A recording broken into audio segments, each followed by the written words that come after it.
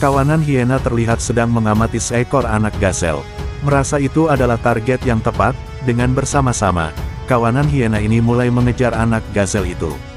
Awalnya, induk gazel mencoba membantu anaknya agar terus berlari menjauhi kejaran hiena, tetapi pada akhirnya anak gazel ini berhasil tertangkap. Si induk gazel ini pun hanya dapat melihat anaknya mati dimangsa oleh hiena tanpa bisa melakukan apa-apa.